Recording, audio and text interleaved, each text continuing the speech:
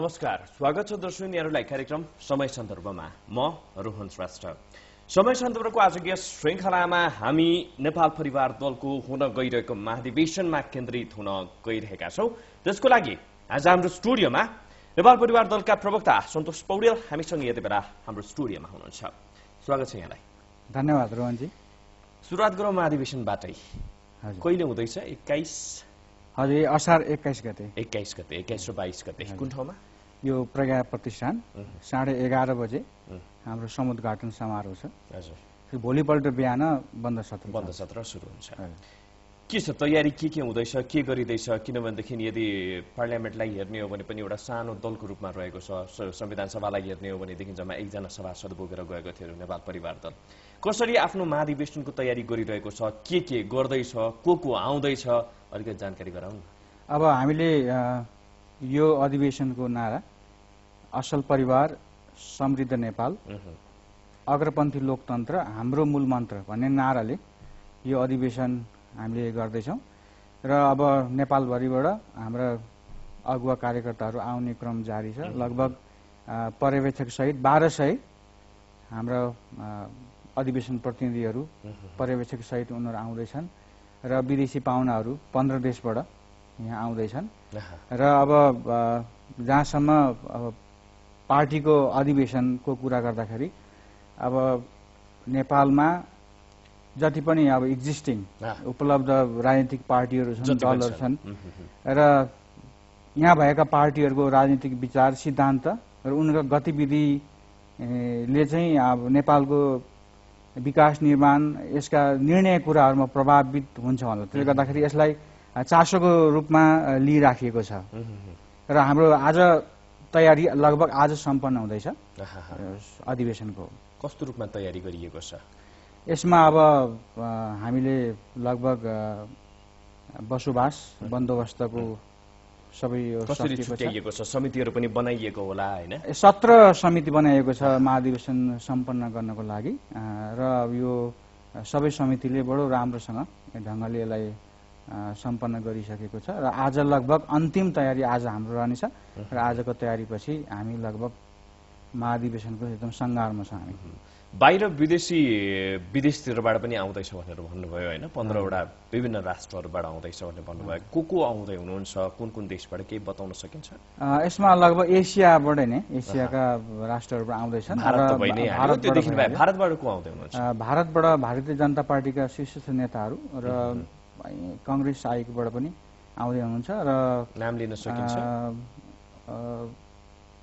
विजय जोलीजीको team आउँदैछ भारतीय जनता पार्टीबाट। Congress आयोगबाट प्रवक्ताको team आउँदैछ।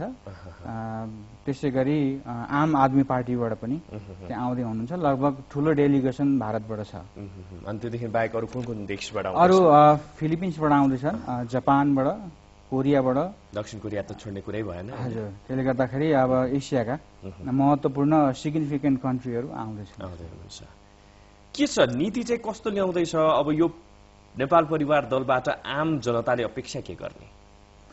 अब मैले अघि पनि सुरुमा भनिहालेँ कि अब नेपाल परिवार दल एउटा लोकतान्त्रिक समावेशी र समानुपातिक राजनीतिक प्रणालीमा विश्वास गर्ने पार्टी हो। यसले लिएको विचारधारा अग्रपन्थी लोकतन्त्र हो। र अब नेपालमा पार्टीका गतिविधि र अब पार्टीका विचार राजनीतिक चिन्तन यसले यहाँको विकास निर्माणलाई धेरै असर बनाउँछ। र हामीले हाम्रो नारा नेपाल एक घर र नेपालमा रहेका सबै हिमाल पहाड तराईमा बस्ने सबै नेपालीहरू एउटै परिवार हो भन्ने हाम्रो चाहिँ मूल नारा हो। र अहिलेको सन्दर्भमा यहाँले अनुमान लाउन सक्नुहुन्छ कि? अब विभाजनको एउटा हाम्रो चाहिँ मानसिकता हामीले बोकिरहेको चाहिँ यत्रो सङ्कट छ। यस्तो बेलामा हाम्रो नाराले चाहिँ वास्तवमा मलम लगाउँछ र अहिले एउटा तराईमा बसिरहेको तराई मधेसमा बसिरहेको एउटा किशोरको माइन्डमा मनमा अब अनेक कुरा भरिदिइराखेको बेलामा अहिले नेपाल परिवार दलले चाहिँ नेपाल एक घर सम्पूर्ण नेपाली एउटा परिवार भन्ने सुन्न पाउँदा त्यो एउटा छुट्टै सकारात्मक तरङ्ग चाहिँ देशभरि गइराखेको छ। त्यसले गर्दाखेरि यसको विचार सुन्दर छ र यसको भविष्य पनि उज्जवल छ र अहिले युवाहरूले यस्तै सकारात्मक एउटा भविष्य भएको त्यस्तो पार्टीको वास्तवमा उनीहरूले खोजी गरेका छन् आकर्षण छ। र अवश्य पनि नेपाल अहिले हामी एउटा पोस्ट कन्फ्लिक्टको अ, एउटा छौँ। स्टेजमा छौँ। त्यसले गर्दाखेरि अब यो नवनिर्माण भन्ने बित्तिकै नयाँ नेपाल निर्माण भन्ने बित्तिकै हामीले भौतिक निर्माण मात्रै होइन अहिले मन निर्माण मन जुटाउने। त्यो मन जुटाउने प्रयास चाहिँ के गरेको छ त नेपाल परिवार दलले? किनभने यो नयाँ पार्टी त होइन होइन धेरै भइसक्यो। अहिलेसम्म चाहिँ के के गरिरहेको छ? अब उसको महाधिवेशनले कसरी चाहिँ यो यी कुराहरूलाई जति पनि तपाईँले भन्नुभयो नि मनलाई चाहिँ नजिक ल्याउने प्रयास हुन्छ भनेर।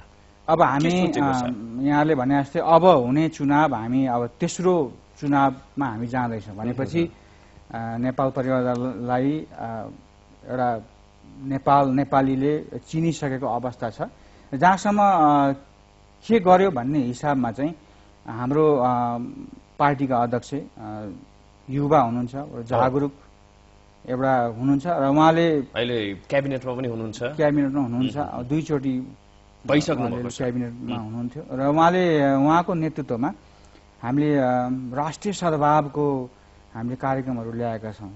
र हामी मधेसमा गएका हामी मधेसमा गएका छौँ र हामीले हाम्रो मूल नारालाई सम्बोधन हुने गरी नेपालमा जति पनि जात जाति जति पनि भाषाभाषी छ उनीहरूसँग मितेरी लगाउने अध्यक्षज्यूबाट सुरु भयो र हाम्रो पार्टीका सबै कार्यकर्ताहरू। त्यसरी हिमाल पहाड तराईमा गएर एउटा मित लगाउने एउटा भातृत्व विकास गर्ने त्यो खालको चाहिँ हामीले परम्परा एउटा सञ्चालन गरेका छौँ।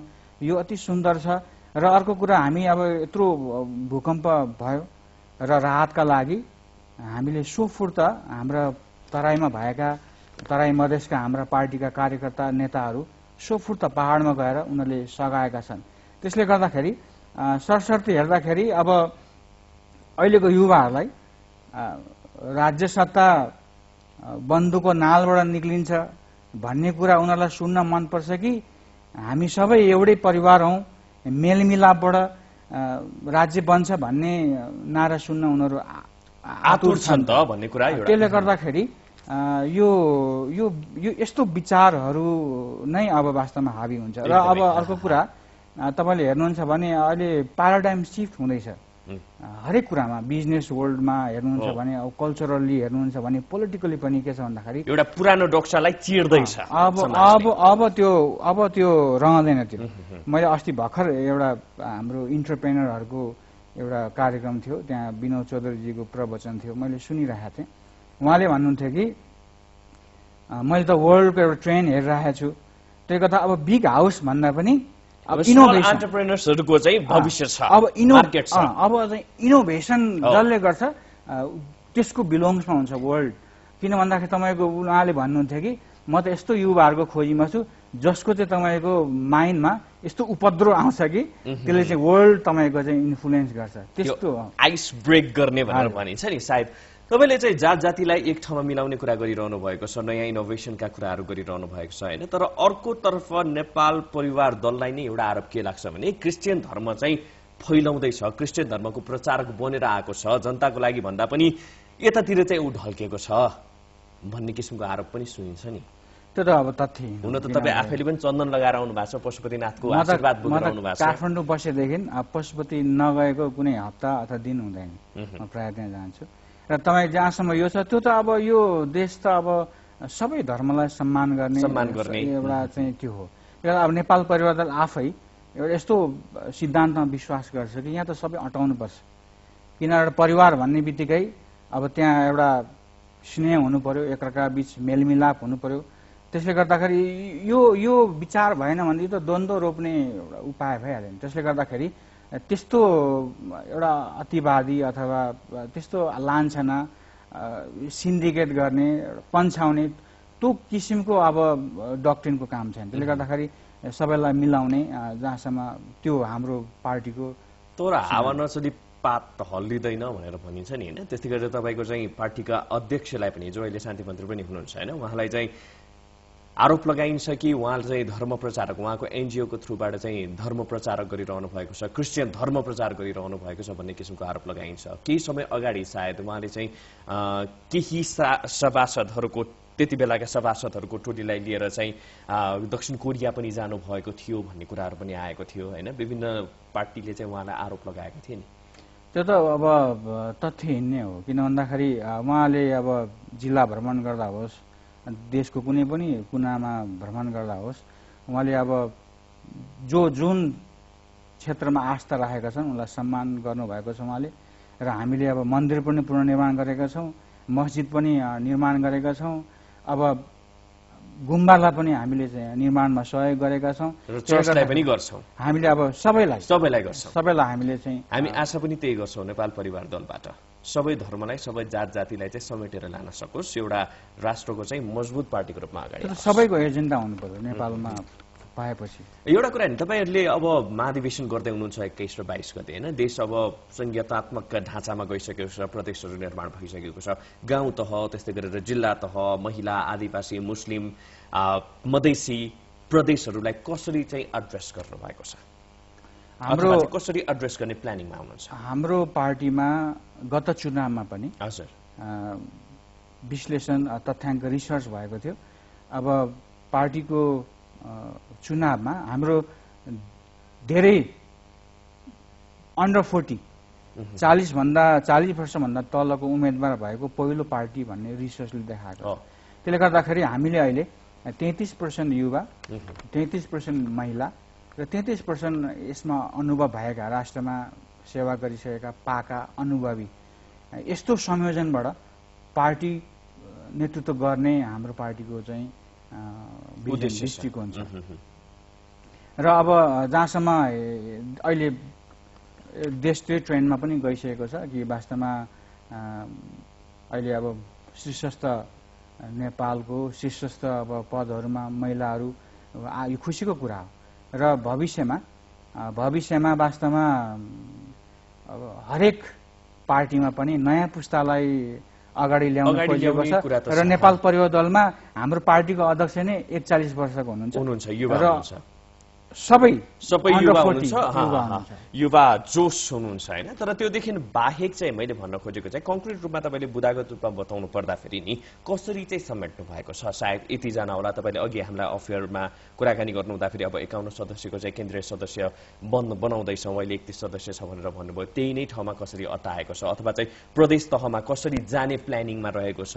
यस- यसबारेमा थोरै बताउन सकिन्छ या चाहिँ त्यो बन्द सत्रले नै डकुमेन्ट चाहिँ ड्राफ्ट गरिसकेपछि यसमा के मात्र छ हामीले हामी के कुरामा सचेत छौँ भन्दाखेरि संविधानको मूल मर्म जुन समावेशिता छ जुन समानुपातिक छ त्यो कुरालाई हामीले विचार गरेका छौँ र स्वत निर्वाचन आयोग छ र संविधान छ त्यो कुराको भित्र नै रहेर हामीले चाहिँ पार्टीको समिति निर्माण गर्छौँ र यो पार्टीको महाधिवेशन चाहिँ अब नेपालको पुनर्निर्माण र अब संविधान कार्यान्वयन। र कतिपय चित्त नबुझेका कुराहरूलाई सम्बोधन गर्नुपर्छ र जनआकाङ्क्षा अनुरूप यसलाई संशोधन गरेर लानुपर्छ भन्ने भनेर चाहिँ डिफाइन कसरी गरिरहेको छ पार्टीले? के के कुरालाई चाहिँ चित्त नबुझेको भनिरहेको छ? अथवा चाहिँ संविधान कार्यान्वयनका चुनौतीहरू चाहिँ के केलाई पहिले आएको छ? हामीले अब परिवार दल भन्ने बित्तिकै अब परिवारभित्र अब एउटा मत भिन्नता मतभेद हुनु हुँदैन। होइन।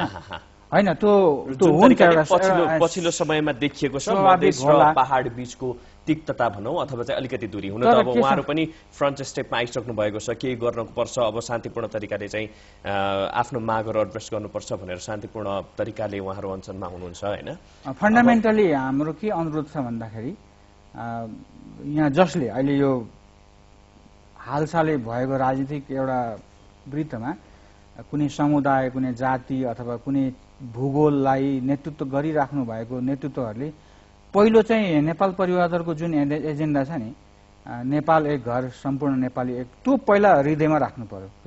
किन सुरुवात नै मतभेदबाट एउटा चाहिँ। अब आफूले सुरुवात गरेपछि अनि फेरि कुनै समुदायको अधिकारको लागि लड्दाखेरि त कहाँ फेरि त मिल्दैन।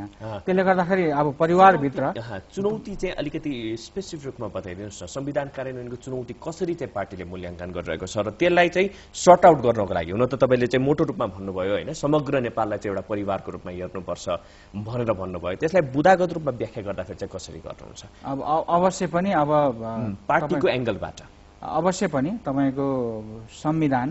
अहिले जुन नयाँ संविधान आएको छ संविधानमा एउटा अखण्ड राष्ट्र बाहेक त सबै कुरा तपाईँको चाहिँ परिवर्तनीय छ। त्यसले गर्दाखेरि यो लोकतान्त्रिक छ। त्यसमा पनि चित्त नबुझेकाहरूलाई चित्त बुझाउने त फेरि अब सत्तामा बसेको अब ठुलो पार्टी भनेर नेतृत्व गरिराख्या त्यो त्यो त्यो त अब स्वत उनीहरूको चाहिँ लाइभलिटिज एउटा दायित्व हुने गर्छ। ठुलो पार्टीको। अवश्य पनि। तपाईँहरूले चाहिँ कसरी मैले भन्न खोजेको होइन के के कुरालाई चाहिँ ठुलो पार्टीको त आफ्नो भूमिका रहन्छ ठुलो पार्टीले त आफ्नो तरिकाले गर्छ तर त्यो नेपाल जोड्नको लागि त्यो मन जोड्नको लागि तपाईँहरूले पनि त केही कुराहरू चाहिँ ड्राफ्ट गर्नुभएको होला। तपाईँहरूले पनि चाहिँ यो गर्नुपर्छ किनभने अहिलेको कन्टेम्पररी सिचुएसनलाई नै हेर्ने हो भने पनि एउटा दूरी कायम भएको छ। त्यो दूरीलाई चाहिँ मेट्नको लागि ल्याउनको लागि तराई मधेस आन्दोलनको मेन स्पिरिट भनेको चाहिँ अब तराई मधेस पिछडियो। त्यहाँका जनताले अवसर पाएनन्। त्यहाँको जनताका चाहिँ भावनाहरू त्यो सम्बोधन भएन भन्ने जुन खालको बाहिर जुन त्यो छ त्यो कुरा वास्तवमा अब हो जनता पिछडिनु हुँदैन। जनतालाई अगाडि बढाउनुपर्छ। भन्ने कुरा ठिक हो तर अब त्यहाँ फेरि राजनीतिक स्वार्थ पनि जोडिएर आउँदाखेरि। त्यसले गर्दाखेरि हाम्रो पार्टीले चाहिँ यो संवि- यो अहिलेको महाधिवेशन पनि तराई मधेसलाई एउटा विशेष आर्थिक प्याकेजको प्याकेज ल्याएर त्यसलाई चाहिँ सम्बोधन गर्नुपर्छ। सायद अब त्यो चाहिँ बन्द सत्रबाट तपाईँहरूले डिसिसन लिनुहुन्छ होला ड्राफ्ट तयार गर्नुहुन्छ होला प्रतिवेदन बनाउनुहुन्छ उनीहरूको। जीवन स्तर माथि उकास्नु पर्छ भन्ने कुरा नो डाउट हामी सबै त्यसमा सहमति छौँ। तर त्यो कसरी भनेर भन्दाखेरि चाहिँ अब पार्टीले चाहिँ अब नयाँ महाधिवेशनबाट नयाँ नेतृत्वबाट चाहिँ अगाडि बढेर ड्राफ्ट तयार गरेर ल्याइन्छ। नेतृत्व चाहिँ कसको फेरि पनि एकनाथ ढकालकै उहाँकै नेतृत्वमा जान्छ अथवा चाहिँ पार्टीले अरू कुनै डिसिसन लिन सक्छ? अब यो त अब महाधिवेशन भनेको नि सर्वोच्च एउटा बैठक हो। अब यसले निर्णय गर्ला। र जहाँसम्म लाग्छ हाम्रो पार्टीको अध्यक्ष अब अहिलेसम्म पार्टी हाँक्नु भएको छ र युवा हुनुहुन्छ। युवा हुनुहुन्छ। र एउटा दृष्टिकोणले पार्टी सञ्चालन गर्नुभएको छ। त्यसले गर्दाखेरि सकेसम्म हाम्रा अहिले बन्ने सर्व सर्वसहमतिबाट जो बने पनि सर्वसहमतिबाट बन्ला। भन्नुहुन्छ हजुर हस्, यहाँले हाम्रो समय यहाँ हामीले हाम्रो स्टुडियोमा आइदिनु भयो आफ्नो समय दिनुभयो पार्टीको महाधिवेशनको बारेमा आफ्नो विचारहरू राखिदिनु भयो यहाँलाई धेरै धेरै धन्यवाद। धन्यवाद हजुर हस् दर्शन यहाँलाई पनि धेरै धेरै धन्यवाद। आज हामीलाई साथ दिनुभएकोमा आज हामीले अब एक्काइस र बाइस गते नेपाल परिवार दलको महाधिवेशन हुँदैछ। महाधिवेशनमा केन्द्रित रहेर हामीले अब नेपाल परिवार दल कसरी अगाडि बढ्दैछ के के गर्दैछ भन्ने किसिमले थोरै हामीले यो आधा घण्टाको समयमा कुराकानी गर्यौँ। हाम्रो स्टुडियोमा हुनुहुन्थ्यो परिवार दलका प्रवक्ता सन्तोष पौडेल। यहाँलाई पनि धेरै धेरै धन्यवाद। आज हामीलाई साथ दिनुभएकोमा समृद्धि र शान्तिको अभियान हेर्दै रहनुहोला हिमालय टेलिभिजन। नमस्ते।